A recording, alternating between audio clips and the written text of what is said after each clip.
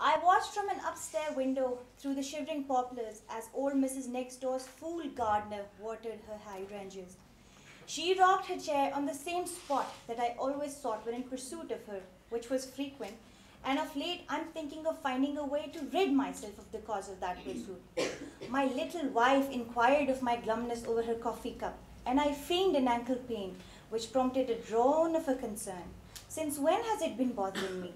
When should she make an appointment with my physician? Never.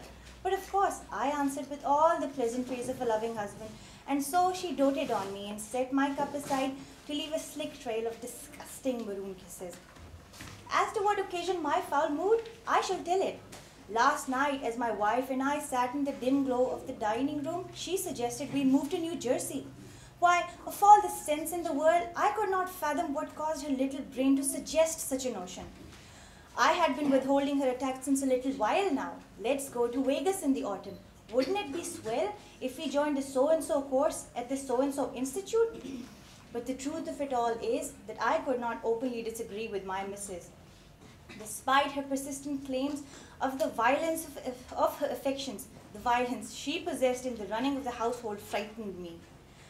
I may seem a coward, but, gentlemen of the jury, if you could but witness her pouts and fainting spells and her prowess in the art of manipulation, you shall judge not so severely. And besides, I confess to being a very affectionate man. It pains me to deny anyone, lest of all, the old witch next door's lovely daughter. Why, she is the very cause that ignites me to resist. Albeit in feeble attempts, my loving wife's rides down my spine. And as I am the master of the discreet, our passionate love affair is concealed behind the chaste veil of tutoring my ambitious neighbor, away from the dim knowledge of my wife. As much convinced I was that I could not rebel against my wife, last night I also became aware that the only way to end her schemes was her destruction. But before I am pronounced my capital punishment, let me explain how wonderfully fate sided with me. Oh, for why would it not? So as we descended the stairs and I held his stubby fingers of the many rings, Bitter Hill screamed its counsel to aid a trip that would send her flying down. But I am no killer, and I would not act, and the screaming ebbed to groans. She led me outside for the mere sake of fresh air. The lady opposite our house called to my wife and disappeared inside. My sweet wife told me she would join me shortly.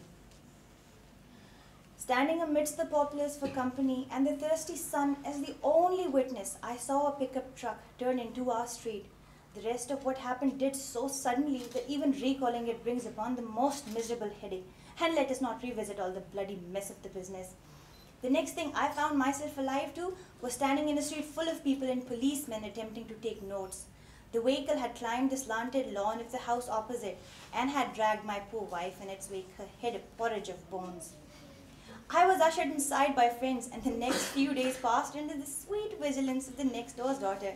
My display of grief was so profuse that they even promoted her visits out of fear I might commit suicide. The one thing that bothers me is Mrs. Next Door's eyes upon me, as if she's keeping a secret. But, jolly be fate, the poor thing is too frail to be understood. Just one of these days, I fear I may tire of her rocking just right next door. Thank you so much.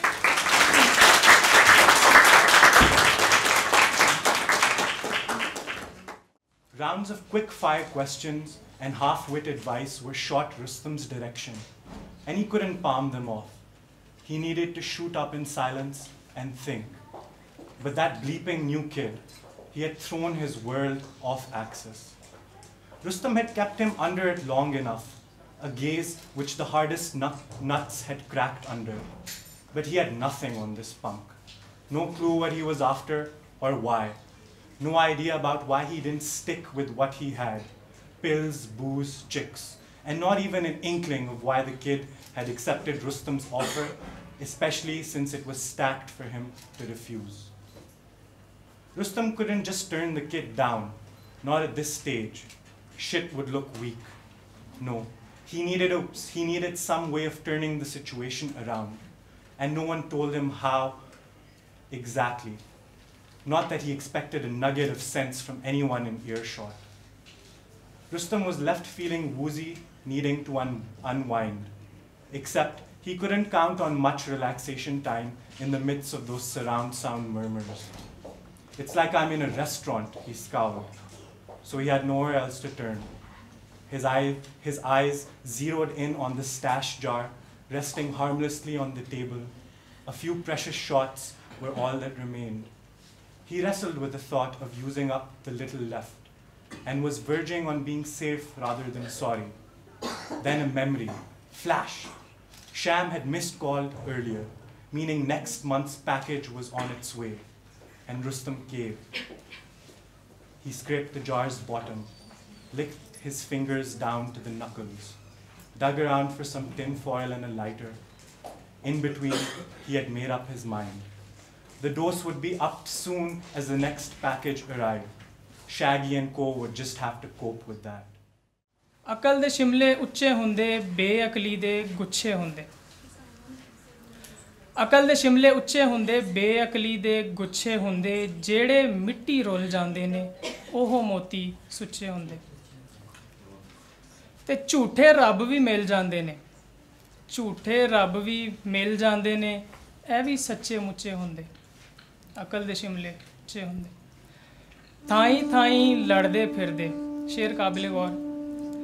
ਥਾਈ ਥਾਈ ਲੜਦੇ ਫਿਰਦੇ, ਨੈਣ ਲਫੰਗੇ ਲੁੱਚੇ ਹੁੰਦੇ। ਅਕਲ ਦੇ ਸ਼ਿਮਲੇ ਉੱਚੇ ਹੁੰਦੇ।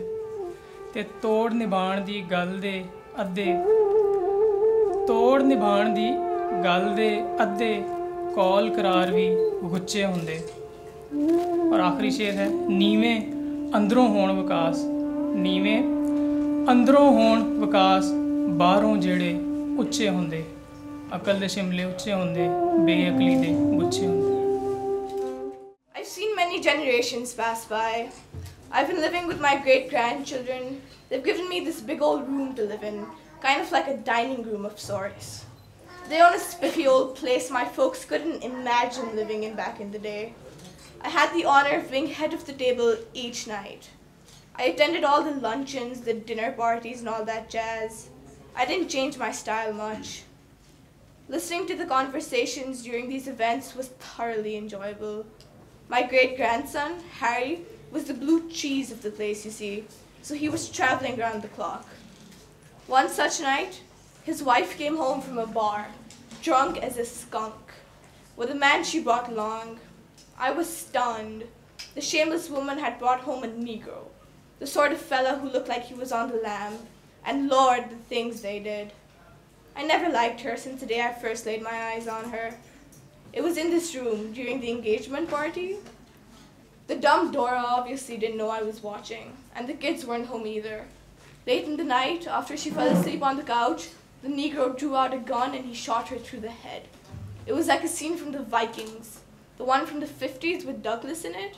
I was petrified, all choked up, and I didn't know what, and, and, and I didn't dare to move. Feeling so paralyzed and helpless was horrid.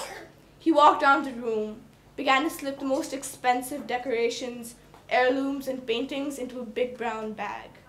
That's when he saw me. And with a sly look, the bastard dragged me with him too, and he bagged me. I tried to scream for help, but I couldn't do it. I don't know where I am now. At some old yard sale, in a box with all these other paintings. Silly kids keep smearing up my paint. My velvet gown looks stained already. Thank you. When I talked to myself in kindergarten, my teacher found me nestled between crayons and towers of neatly stacked voodoo drawings, darting to find the perfect color, saying, "Mm, Mommies feed their babies through the belly button. That's why I have one, but they cry. I cried because I came out of my mommy's mouth. My mother was called to school that day. The teacher explained that I had been stammering a lie and it needed fixing. I needed fixing, so my mother halted my stammer in its tracks and didn't hold back when she said, With a head that big, you never would have left my body, darling. Two. The gold of the sun is painful to me. I'd rather let the Margala exhausted monsoon wind subtend over its study of yellow and blue to give me gray, which once made me cry because the color wheel said green was right, and I'd rather let my scarf dampen under the rain of a lightning mustachioed sky, bellowing a thunderous roar of victory. My melanin levels couldn't dampen me on stormy days. Three. There are more shades of brown escapades and comma curves in my hair than my body can even dream of showing. Four. The thin line between modesty and honesty vanished the day I met company and envy. And perhaps uncertainty as well. The last seems to persevere the most, but I was taught to be an excellent host to guests and their remnants, especially when they planned on staying. ਐ ਹੁਸਨ ਹਕੀਕੀ ਨੂਰੇ ਅਜ਼ਲ ਤੈਨੂੰ ਵਾਜਬ ਤੇ ਇਮਕਾਨ ਕੋ ਹੋ ਤੈਨੂੰ ਖਾਲਕ ਜ਼ਾਤ ਕਦੀਮ ਕੋ ਤੈਨੂੰ ਹਾਦਿਸ ਖਲਕ ਜਹਾਨ ਕੋ तनु मुतलक महज वजूद कहूँ, तनु अलमिया, आयान कहूँ अरबा नफूस अकूल कहूँ, अशबा एयान निहान कहूँ। तनु ऐन हकीकत माहियत, तनु अर्ज़ सिफत ते शान कहूँ, अनवा कहूँ, औजा कहूँ, अतवार कहूँ, औजान कहूँ। ਉਹ ਤੈਨੂੰ ਅਰਸ਼ ਕਹੂੰ ਅਫਲਾਕ ਕਹੂੰ, ਤੈਨੂੰ ਨਾਜ਼ ਨਈਮ ਜਨਾਨ ਕਹੂੰ, ਤੈਨੂੰ ਤਤ ਜਮਾਦ ਨਬਾਤ ਕਹੂੰ ਹੈਵਾਨ ਕਹੂੰ, ਇਨਸਾਨ ਕਹੂੰ। ਉਹ ਤੈਨੂੰ ਬਾਦਲ ਬਰਖਾ ਗਾਜ ਕਹੂੰ, ਤੈਨੂੰ ਬਿਜਲੀ ਤੇ ਬਾਰਾਨ ਕਹੂੰ, ਤੈਨੂੰ ਆਪ ਕਹੂੰ, ਤੈਨੂੰ ਖਾਕ ਕਹੂੰ, ਤੈਨੂੰ ਬਾਦ ਕਹੂੰ, ਨੀਰਾਨ ਕਹੂੰ। ਉਹ ਤੈਨੂੰ ਤਾਨੂੰ ਦਸਰਤ ਲਿਚ ਮਨ ਰਾਮ ਕਹੂੰ ਤੈਨੂੰ ਸੀਤਾ ਜੀ ਜਾ ਨਾਨ ਕਹੂੰ, ਬਲਦੇਵ ਜਸੂਦਾ ਨੰਦ ਕਹੂੰ ਤੈਨੂੰ ਕਿਸ਼ਨ ਕਨਈਆ ਕਾਨ ਕਹੂੰ।